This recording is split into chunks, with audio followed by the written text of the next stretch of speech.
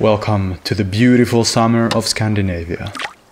I'm sitting in my tiny boat, gonna catch some fish before I head out to the island where I have my camp.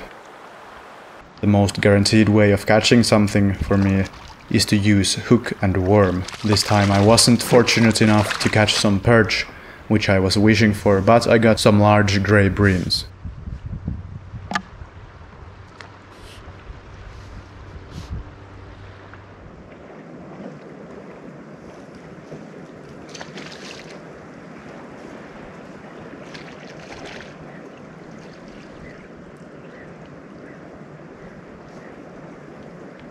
After a two hour motorboat ride, I arrived to the island where I have my beautiful campsite.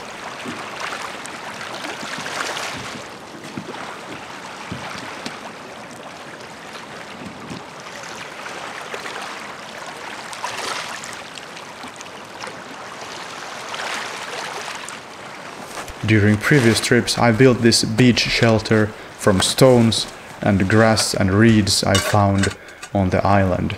I've also used some clay as you can see in the chimney and for connecting stones on one of the walls. I'm looking forward to use more clay today.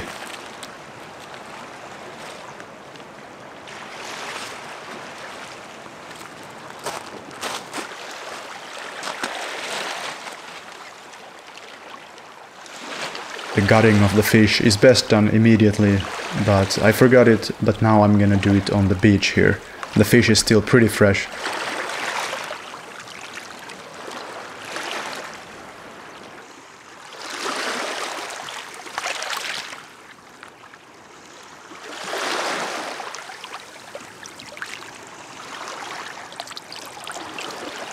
The first thing I do when I go up on the island, on this high cliff, is to gather some firewood. Luckily everything is now very dry, so it's just a matter of taking any dead branches I can find.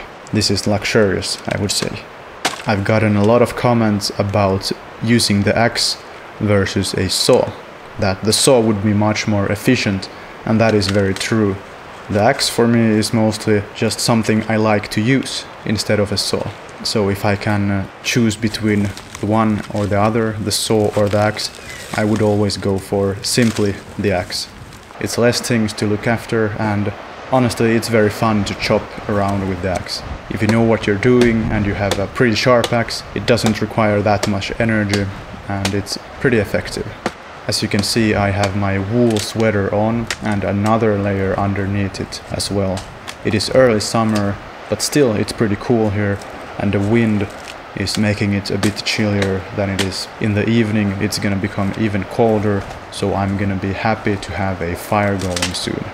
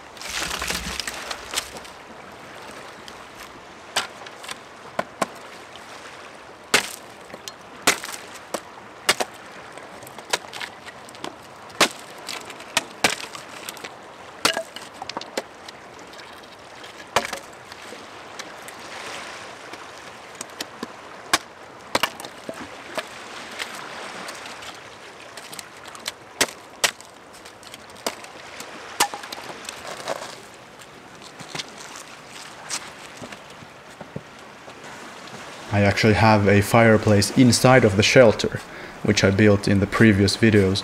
This is very exciting and it makes the fire more efficient, it gets warm inside of the shelter and it's very cozy. The grass also is very dry, so it's easy to get the fire going even without matches. This is the feeling I love the most, to put fire inside of the stove. I do this at home in my cabin, but also now I can do this on the island. It's very cozy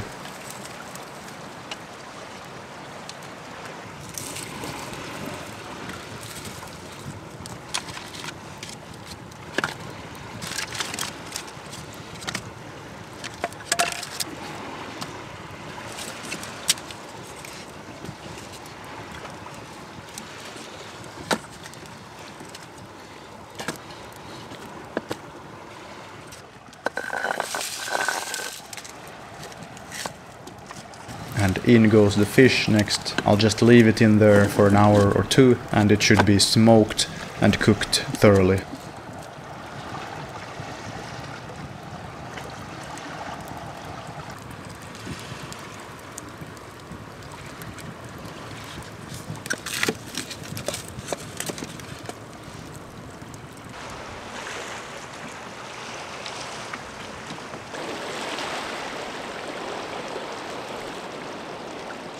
Now let's go see at my clay works from the previous time. I have a bowl which has cracked and some of these clay tiles, they have actually dried. They seem to be alright and I'm gonna use that to close the gap of my oven so the fish is gonna cook even better. They aren't hardened enough so they wouldn't be able to withstand some rain and water.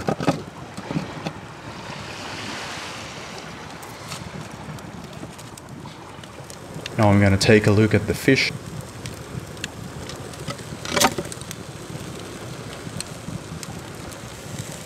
It seems like it's cooked thoroughly.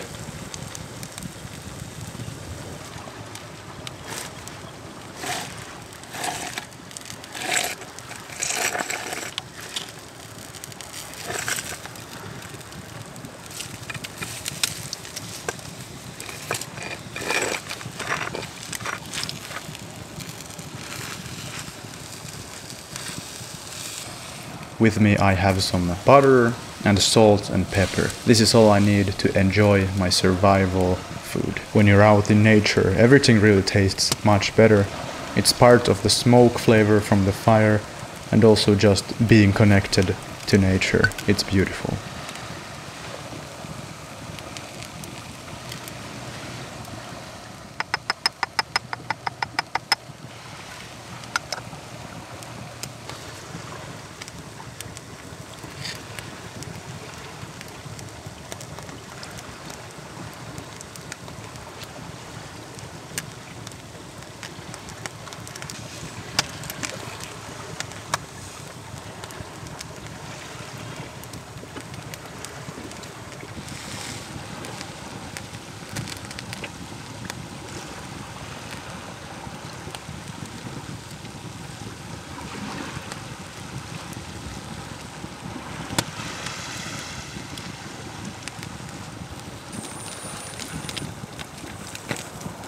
When I'm sitting inside the shelter, it's actually getting a bit too warm, so I have to get out to finish my meal.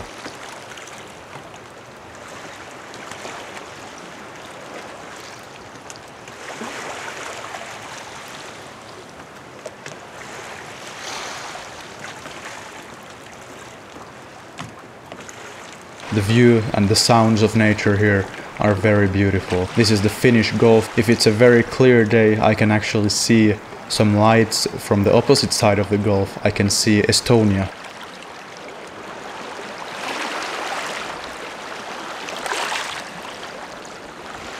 Now it is time to take a look at the clay tiles. I have hidden my clay works under these cracks in the mountain, so they have remained dry and they have actually dried well in the heat of the early summer. They are perfectly hard, but they are not hardened. As I said, I need to make a kiln, a huge fire where I can put them so they will become red when they are hardened. And if I can manage to pull this off, I'll have roof shingles and a watertight roof. The roof on my shelter is gonna protect from some water, but it's not enough if there's real rain coming down. To build the kiln, the large fireplace, I start gathering large stones so I can build the walls around my fireplace. On top of this straight long stone I found and this piece of rusty steel from the beach, I will place my clay tiles so they will be perfectly on top of the fire. When I'm lifting a lot of these heavy stones, I make sure to not break my back. It is important to remain aware of the position you're in when you're lifting something heavy.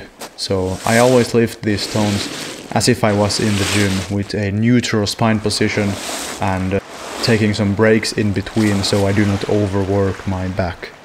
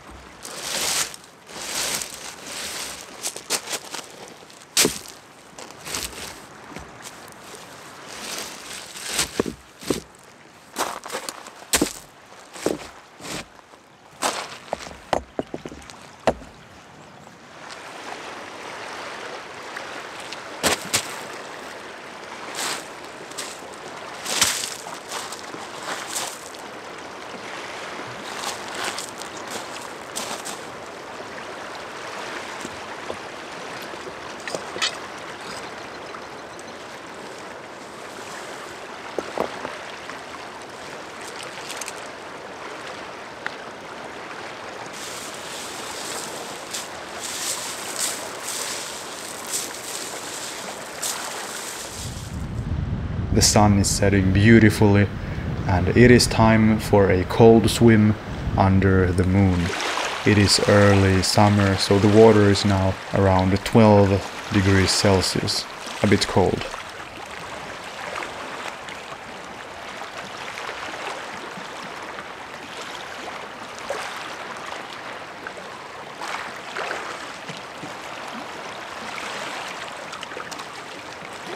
Inside the shelter, it's still warm from the fire, even though the fireplace is not live right now, but it's warm.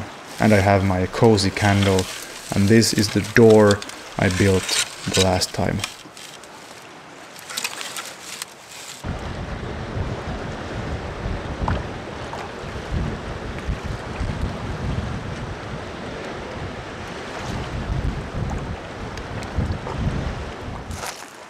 It's a wonderful morning. In this copper kettle, I'm gonna cook my favorite breakfast eggs. This night I slept very well. I have a sleeping bag and my sheepskin, and the sheepskin is just put on these reeds, this very dry grass, and that's soft enough and warm enough to sleep on.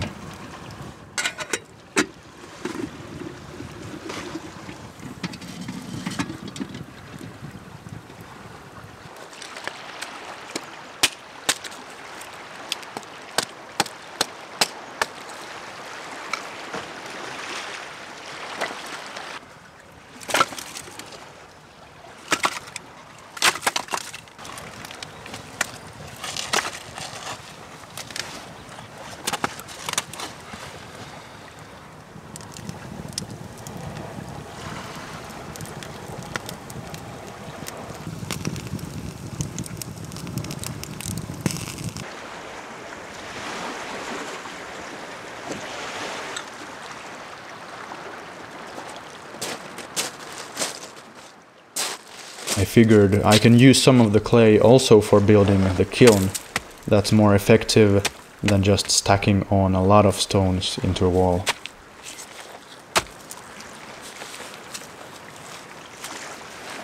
Digging the clay is very easy.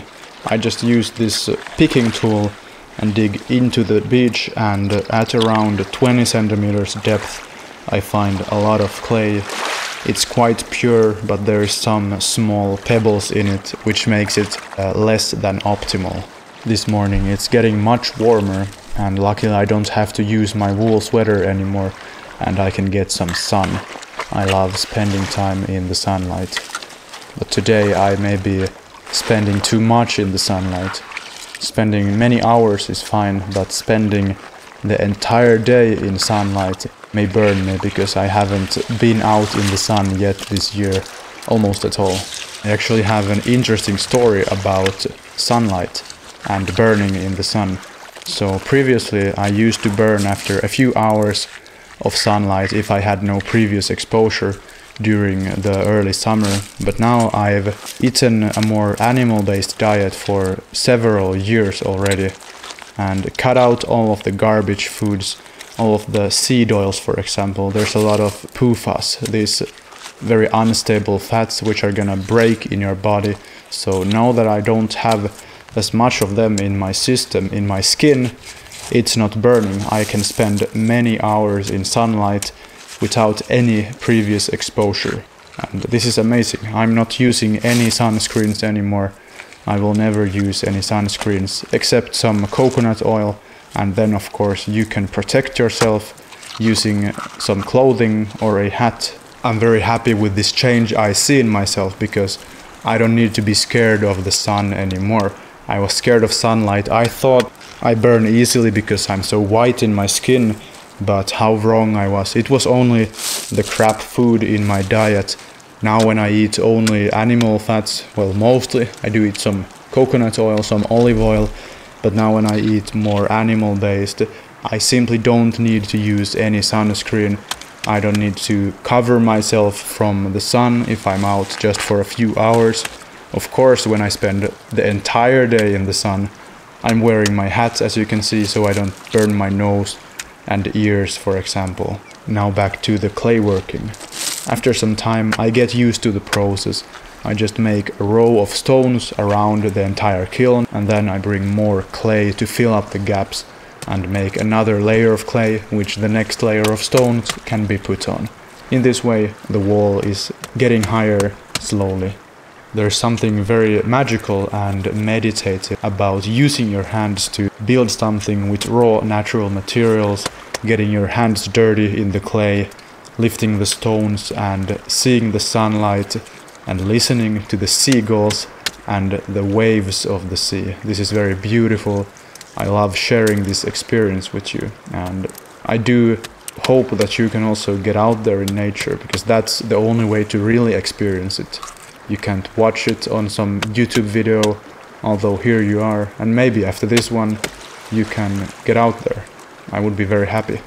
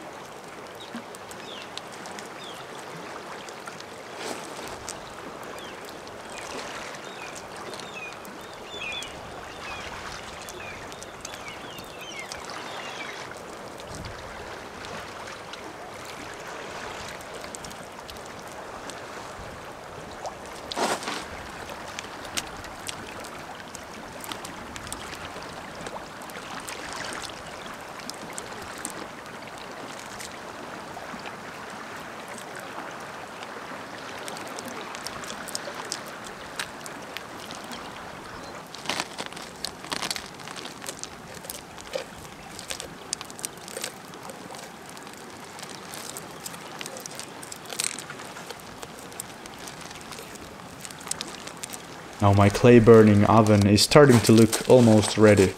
I still want to cover the front of it so that there will be a much better draft through the oven and a hotter flame and as a result I can also harden my clay. For finishing the kiln I found this long stone which fits perfectly into place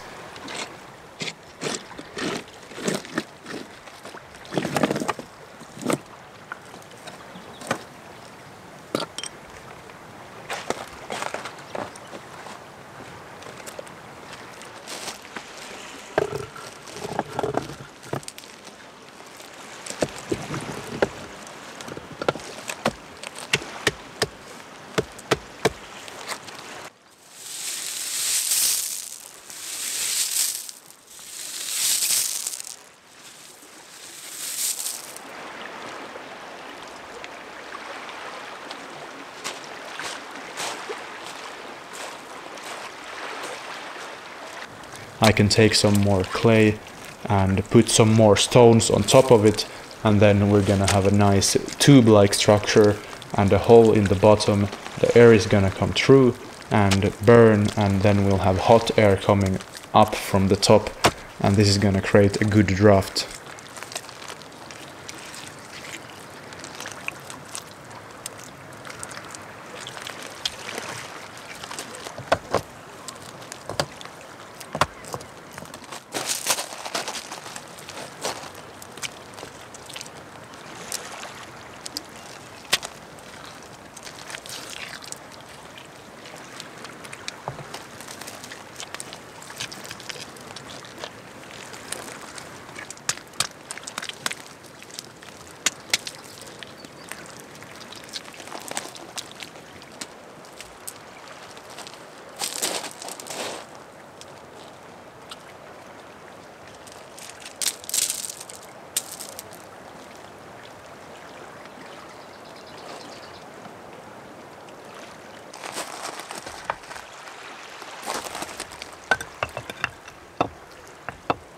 I've been working for many hours now and it's getting hot in the afternoon, so I'm just enjoying summer to the fullest.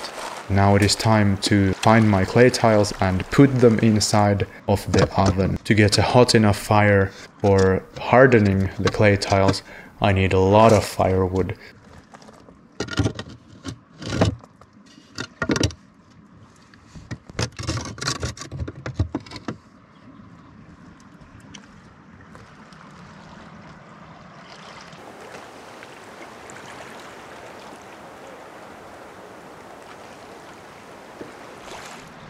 So I head out to another area of the island and here I find many chunks, many big chunks of dry firewood. This is exactly what I need. The fire will need to be going for several hours, so I think I can't take too much. I'm just taking everything I can find and carrying it back to the camp.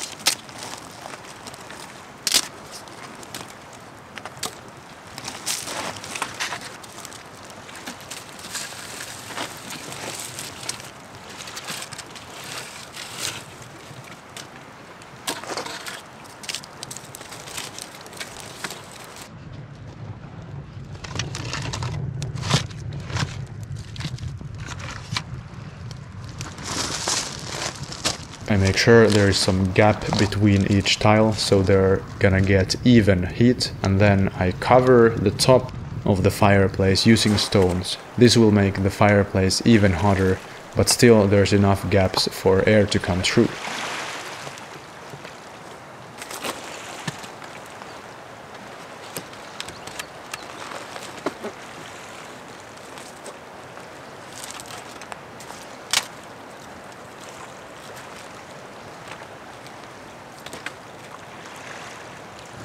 After an hour of burning, I noticed some popping noises. Apparently, many of my clay works have exploded. This is because there is still some moisture, some pockets of wetness inside of the clay tiles, so I need to dry them more and learn from this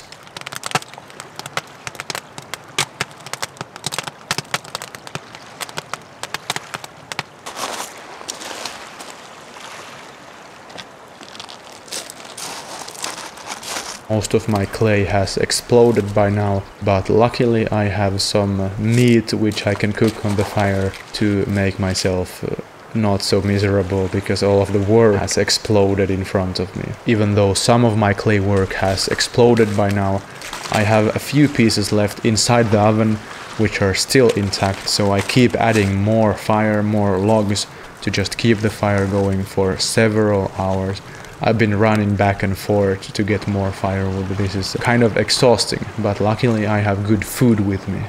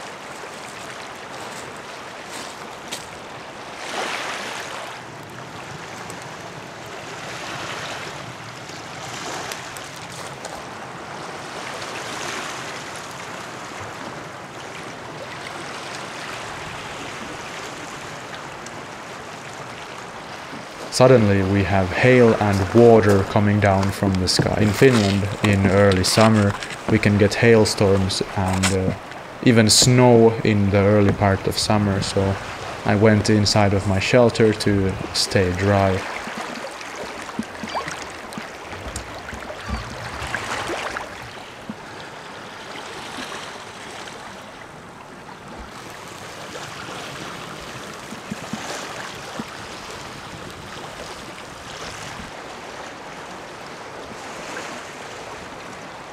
And after a moment it was over. This island is a favorite among swans. Swans are the national bird of Finland and I am fortunate enough to see these two swans swimming about almost throughout the entire day right in front of me. They are nesting on this tiny island in front of me and on the other side of my island there are much more swans. Around 10 swans can be seen almost every day, so this is very beautiful, special experience. Now it is time to check on my tiles. It seems that many of my clay tiles have exploded in the heat, but there are still some inside which are pretty much intact. And here is a good sign, I can see some red fragments. The red clay means that it's hardened, so I think I can go try it in the water, see if it's gonna dissolve or not.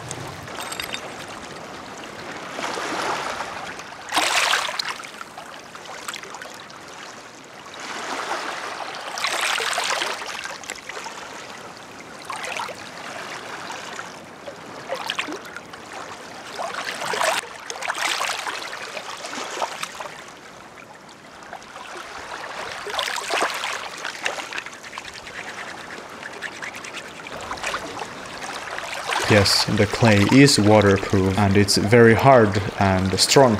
But when I crack it open, I see that there's still some gray inside, which means that not all of the clay was hardened. So what's the solution? I need more fire, more heat.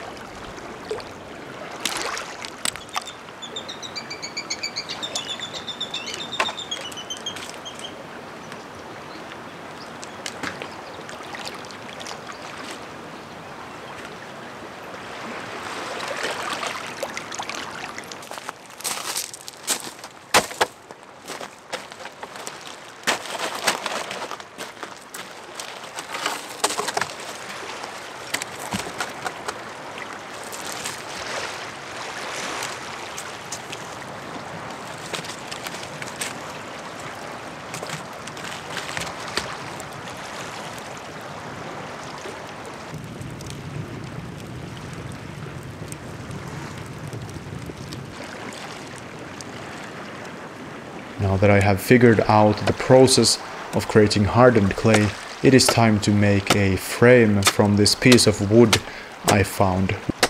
Using this frame I can create a lot of clay tiles much faster than before and then I'll perhaps have enough to make a roof one day.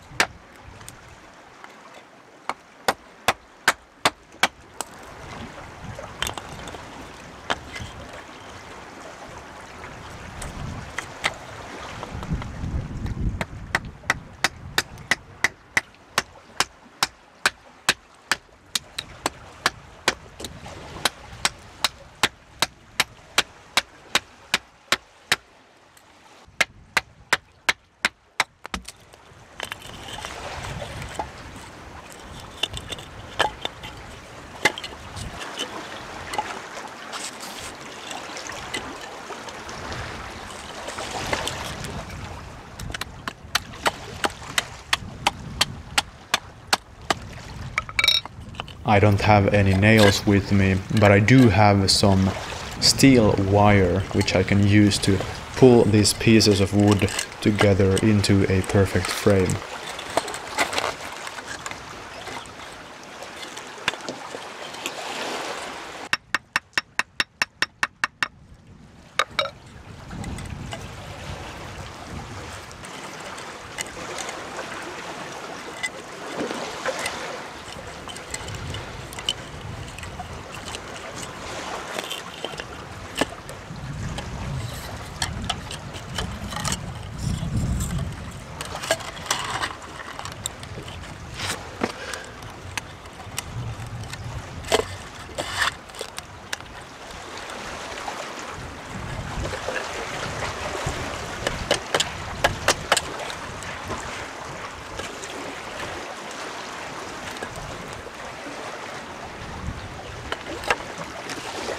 Once the frame is complete, I just add the clay and start flattening it out using my picking tool and my hands.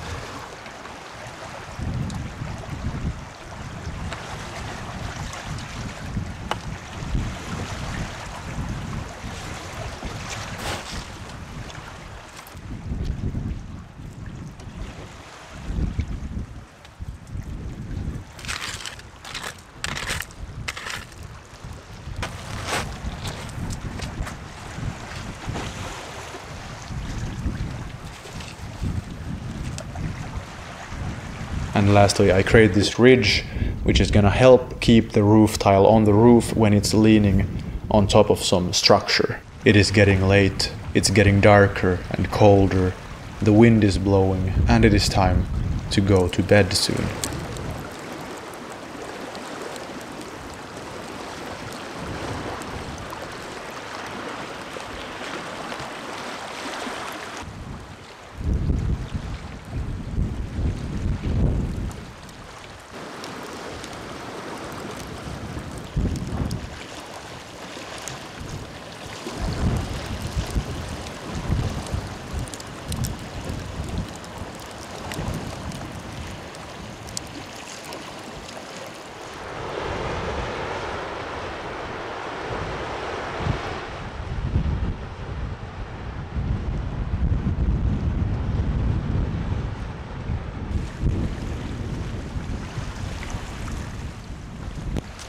I'm moving the flame from the kiln into my fireplace in the shelter so I can enjoy a warm and cozy evening, sitting down, relaxing, and then going to sleep.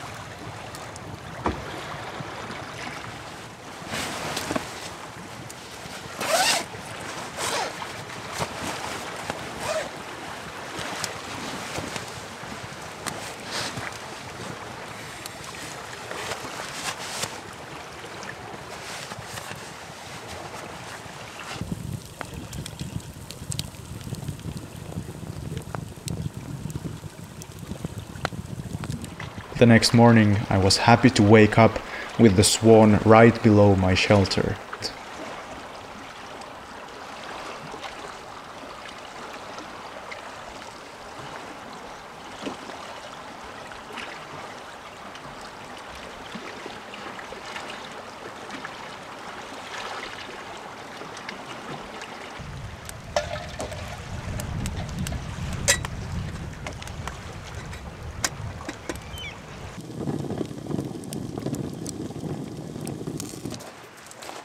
After I get the fire going, I can go check at my cool down clay works. Let's see what we have here. We have a bowl, and the bowl hasn't broken, but all of the tiles have broken. Even though all of the tiles were broken, the clay bowl seems to be hardened successfully. It's watertight, but only the clay is watertight. It has a small crack, unfortunately, and the water is running out. Perhaps I can use it for something anyway.